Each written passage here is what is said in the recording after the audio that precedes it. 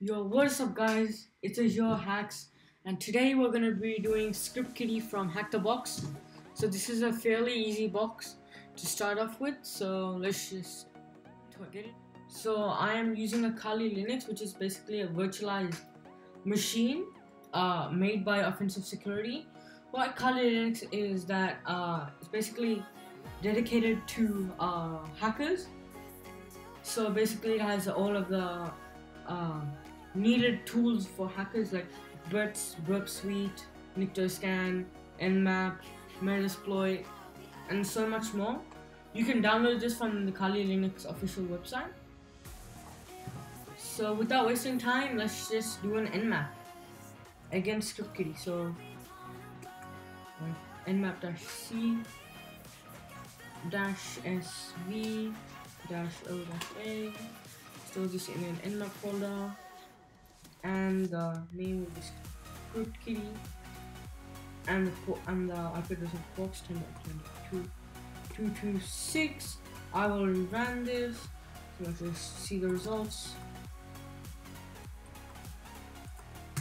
And we see that there's two ports open one port uh, SSH and the other one a web server running on port 5000 so let's check that out so let's go to the IP address box 10.10.226 for 5000 and we see there's something called a kids hacker tools the basically the title of the web server. We see three main uh, categories nmap payloads and exploits.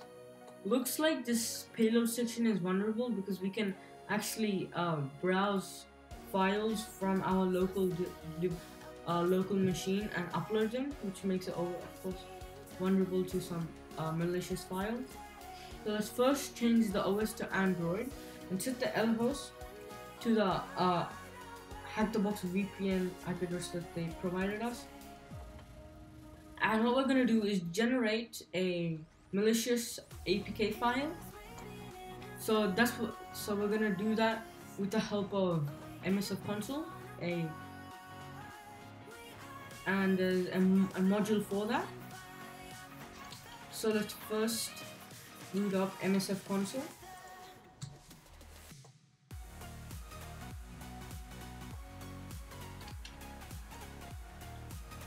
And I will provide this file. I mean, I will provide this link in in this file, and I will provide this uh, in the description so you don't need worry. And here links so you can learn more about this.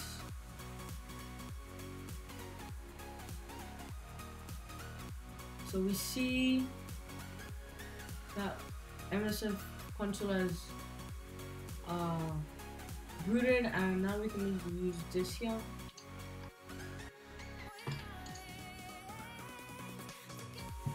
So it's this and we're gonna use this. So we're gonna options. Yeah and we're gonna set the L host to tunnel 0 and we're gonna do options again and that's all we can that's all I want to do. You can change the L port if you want but I'm not gonna do that.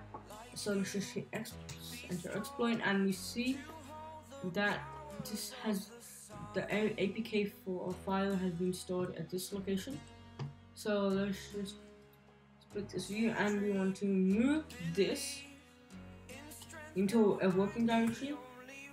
So mine is going to be root hack the box script kiddie and do that and and uh, symbol uh, for multiple commands at once. So I'm going to cd to my working directory like that and we see it's moved and we also see that the msf.apk file has been there we moved there. So now we want to change this mod 777 and we want to allocate that to msf.apk.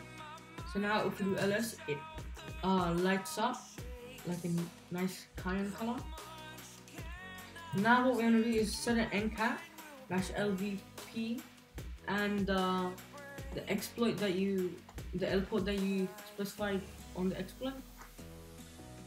So I set it to 4444. I'm gonna, I'm gonna enter this. go back onto this, go into our, our the website, and, make sure this is filled out.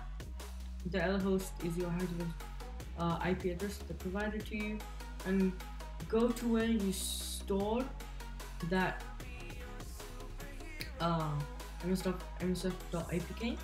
I'm going to open this going to hit generate. Before we hit generate, first let's check if our netcat is running. So it is running. So now let's just press generate and we will be getting a shell short soon.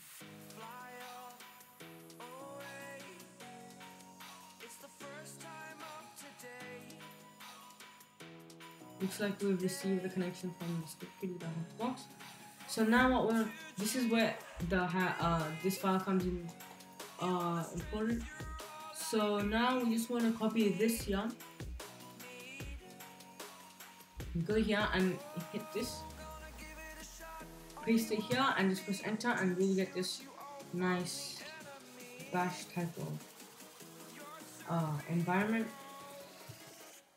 So now I just did export term equals to external. Now we can use clear. Now cd back to home. See what file folders that uh, users there are.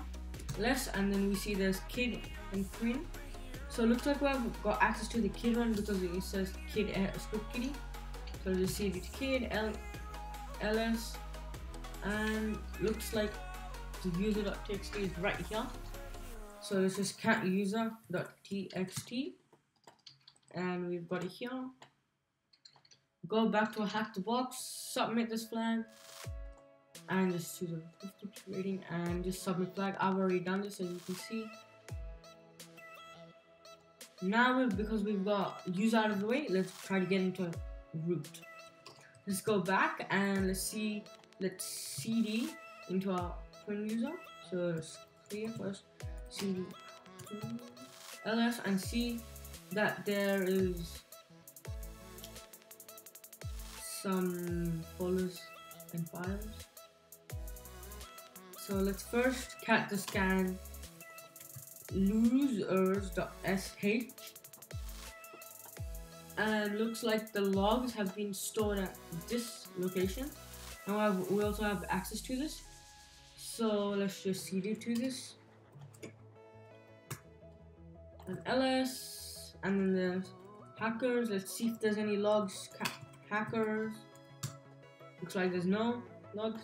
And here we'll come. We're coming back to this file, and we want to get the reverse shell as the print user. So because we want to get that, we have to echo this command into into the hackers folder, a file. Place this. So basically, what this is doing is echoing bin bash dash c. Basically, dash c means command, and we're doing bash dash i dev tcp connect to this IP address and this port. So what you're supposed to have here is your IP address and your port. You can leave this as default port like 1337 or you can change it if you want. We want to, and on our MSF side, MSF console side, we want to exit our MSF console because we don't need this anymore. We want to set up a netcat-lvp running on the port that you specified your bash command to be. I uh, specified this as um, 1337 7 and we just want to press enter and here I'm going to press enter and we see that we've got the shell here so we can just do a quick ls to see what there is and now we can just do export term equals x term. So now we can just see to recon to see what there is. This looks like there's nothing. And now what we can do is list all the things that we can do with sudo. So sudo dash list basically list all the things that we can do as root. So persist looks like we can run MSF console with uh with, like root with no password so we can just do sudo msf console and not having to put the password in for root.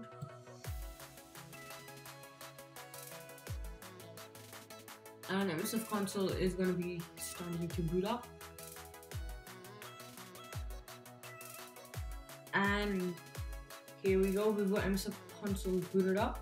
So what you can do here is we can actually execute simple uh, command line commands like ls clear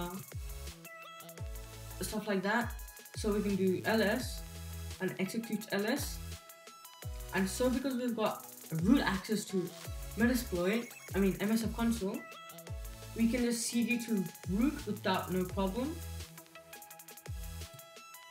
And we can just press ls and we see that there's the root.txt and we can just cat it out without any problem. And here we go. Just copy this. Now we go back to our hacker box and just paste the flag hash and just choose your difficulty rating. It, for me, is really easy. So just submit this flag. As you can see, I've already done this. So we have successfully hacked into ScriptKitty. As I said, this was a really easy box. So you, I hope you guys had no trouble doing it.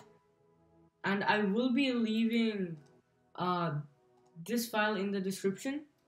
So you guys uh it is really easy for you guys to finish to get it to get the box.